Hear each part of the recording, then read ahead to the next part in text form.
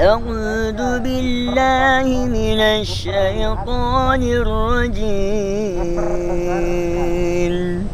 بسم الله الرحمن الرحيم. الرحمن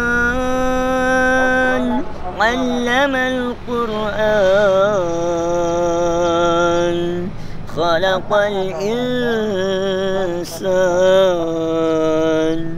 علمه البيان Orang tua laki-laki saya itu tidak pernah meneteskan air mata selama saya hidup di pelukannya. Dan sekali itu ketika beliau memeluk saya dan mengantarkan saya di terminal itu dulu, orang tua saya ngomong begini, Nak, Abu Bakar, kamu saya lahirkan dengan, dengan jenis kelamin laki-laki dan laki-laki itu tidak boleh cengeng, tidak boleh lemah. Apapun bentuk fisikmu, kamu tetap harus kuat. ألا تطغوا في الميزان وأقيموا الوزن بالقسط ولا تخسروا الميزان والأرض وضعها للأنام Kenapa saya ingin sekali pergi ke Jakarta itu dulu? Satu dalam pikiran saya itu, Jakarta itu tempat artis, tempat orang pintar. Tapi, nah itu yang membuat motivasi saya. Saya ingin harus pintar. Saya ingin bisa bahasa Indo dengan baik, bisa mengaji dan bisa ngafal Quran. Akhirnya pun tiba di Jakarta, ternyata yang membuat saya kaget itu orang Jakarta juga pun banyak yang bego juga.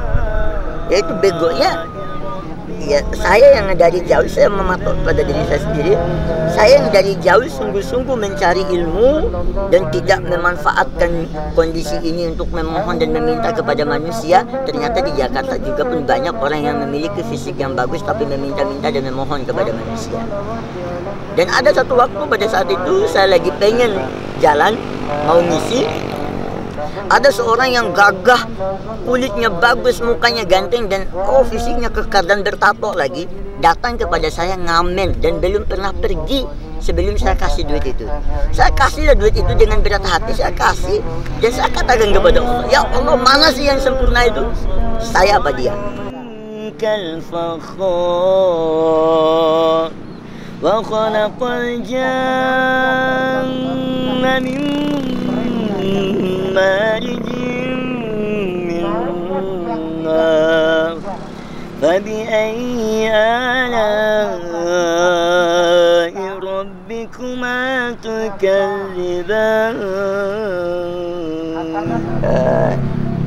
saya menemukan Al-Quran itu indah sebenarnya. Saya mungkin bisa mempelajari ilmu apa saja, tapi saya, ketika saya menemukan Al-Quran itu ada salah satu kedamaian yang melumpuhkan saya yang orang yang dulu sering mendemo Allah itu menjadi orang yang taat ya takutlah kepada Allah.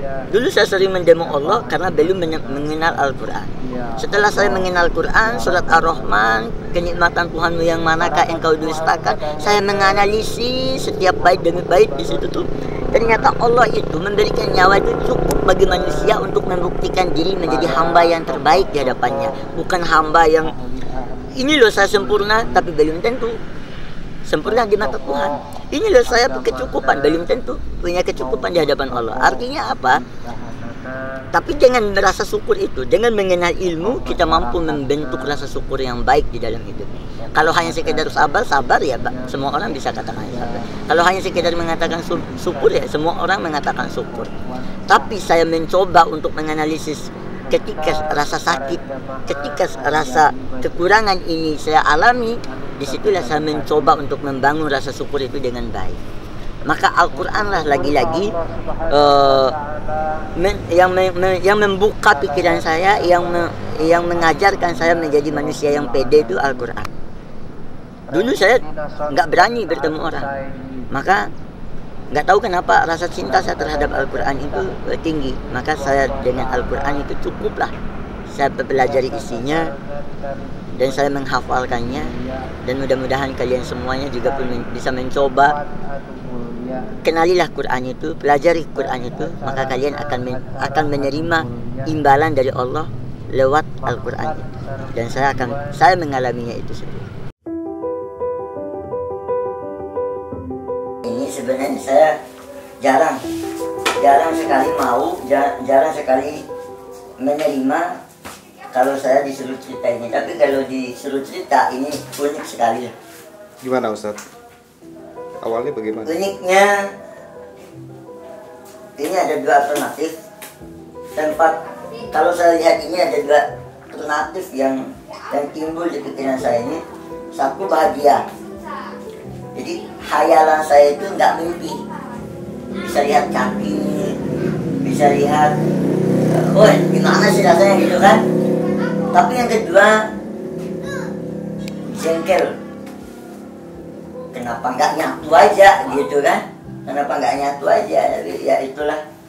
Maka kenapa? Ya artinya kenapa nggak pakai kamu Abu Bakar? Saya nggak pakai itu. Pernah pakai 30 menit. 5 menit pertama itu mungkin belum ada orang yang mampu merasakan nikmatnya surga. Orang yang hidup sampai detik ini Mm-mm. belum ada yang mampu merasakan nikmatnya surga kecuali bayangan dalam Quran dan Betul. hadis. Tapi saya mampu membayangkan dan mengimajinasikan kenikmatan itu Mm. ketika detik demi detik saya berdiri tegak pakai kakinya. Menit kedua, 5 menit selanjutnya, sampai kan sampai 30 menit tuh. Iya. Tadi 5 menit pertama. Nah, 5 menit keduanya saya memiliki kesimpulan kenapa saya tidak memakai ini sangat-sangat nikmat dan bahkan saya belum pernah merasakan nikmat sebelumnya maka dari itu takut rasa nikmat ini mengurangi rasa syukur saya kepada Allah Subhanahu wa taala. Biarkanlah ini menjadi koleksi dan imajinasi saya. Satu. Yang kedua, 5 menit sampai 30 menitnya saya sempat jatuh sakit dan pingsan karena memang saya terlahir dari dasar. Jadi kalau dilurusin itu eh, bukan kenyamanan yang saya dapati tapi beban. Semua gelap pandangan saya itu. Karena udah terbiasa main bola main bulu tangkis kan udah begini. Jadi ketika saya mencoba untuk memakai ini bukan malah kenyamanan. Tapi saya sih kadang karena orang yang suka nulis dan suka berimajinasi saya kadang berhayat.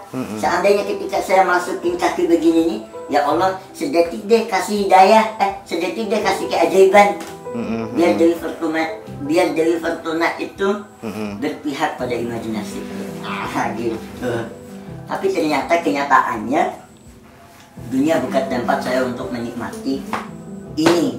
Maka ketika kalaulah nanti Allah memberikan kesempatan saya untuk merasakan megahnya surga maka bukan kunci surganya yang saya tagih tapi kaki. Karena kata Allah kan nggak ada orang yang cacat masuk surga. Maka saya nagih itu. Jadi maka biarkan saya merasa syukur dengan yang seperti ini. Wah ada banyak yang nawarin sa- 125 yang nawarin pakai kaki palsu